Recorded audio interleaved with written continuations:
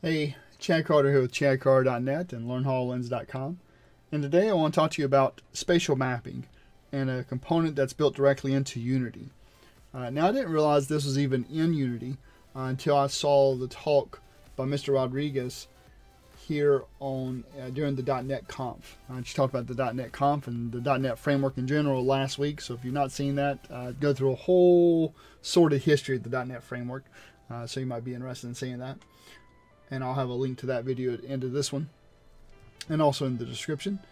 But when I was watching uh, this talk from the .NET conference, I noticed here that he brought in a spatial mapping, uh, not the prefab. I usually bring in the spatial mapping prefab from the Holo Toolkit, but this was something that was actually built into Unity itself. And and so right here it is.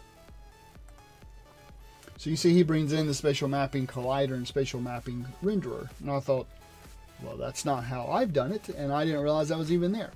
And in fact, uh, just last week I did a webinar talking about spatial mapping. I have another one uh, coming out here uh, soon. So I wanted to try this out and see uh, what's different about it, what's the same. And uh, so you know, I just created a, a quick uh, test. I was originally working on 2017 version 2 but that still isn't working for the uh, HoloLens. So if you want to deploy stuff on the HoloLens, you still need to be in 2017.1 or you can be in Unity 5.6. But here I just created a little guy called uh, SM for spatial mapping. And I brought in the spatial mapping collider and the spatial mapping renderer. And I did that just by simply um, searching for spatial mapping. And you'll see right here, part of Unity is a spatial mapping collider and spatial mapping renderer. And if you don't care about objects colliding with your spatial mapping, then you don't even need to bring in that component. Um, if you only care about the stuff rendering, then you just bring in the renderer.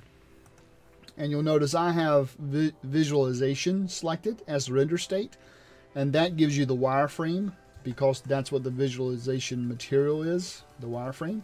Uh, that's kind of, if you've seen any of my demos in the past, that's definitely what I've used is the spatial mapping uh, wireframe.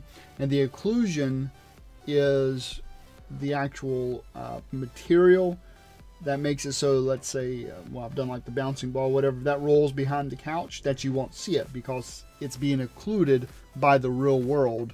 And that's how that works, is by using that material.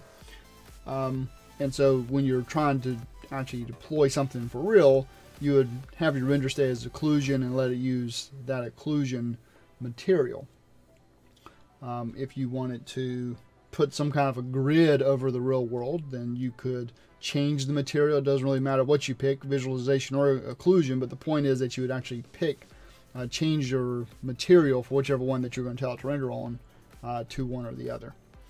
So a lot of the same. However, I'm still going to prefer using the Holo Toolkit spatial mapping. So this is the Holo Toolkit spatial mapping, and when I would bring this guy in, and the reason why I prefer him currently over what's built into Unity is really because of this Object Surface Observer. And it's just so I can actually work with the spatial mapping data inside of the Unity editor itself. Because here I can pick a room model, like S SR Mesh, for example, and then when I played, so let me go here to this spatial, and I'll just um, take him off, disable him. Back to special mapping, uh, hit play here, and we'll actually see the room shows up, right? So there's there's our room, and of course the ball was interacting with it, then it fell. Um, but without having this object surface observer script with this uh, you know temporary or test uh, object of the room, then you won't be able to play with this and see how your code's going to work with the spatial mapping data inside of Unity. Because here in the actual, let me delete that. Here in the actual um, components from Unity, I did not see a way to test a particular um, object, a particular room. So I was even try to bring up um, Observer, the Object Surface Observer and bring in, you know, SR Mesh, for example, and play, and it's just not going to bring up the room. So, and again, there may be something else to do there. There might be something I'm missing. Maybe it's a whole other, um, whole other script or something, but I didn't see it. So until I um, figure out, oh, another way to do that, I will still be using the Holo Toolkit's spatial mapping prefab over the built-in uh, spatial mapping collider and renderer uh, that's inside of Unity. Because the expectation is these would also work, I'm assuming they would work with ARKit and ARCore, uh, would be my guess. Now I actually deployed uh, this app to the HoloLens and uh, you'll see the spatial uh, mapping data where I originally had it here as visualization. And with the actual components here from Unity. So I actually had these components from Unity. This is what I deployed. And, you know, it actually works. So these components work. The only downside, like I said, is that there's no way to test it inside the editor that I saw. Reset.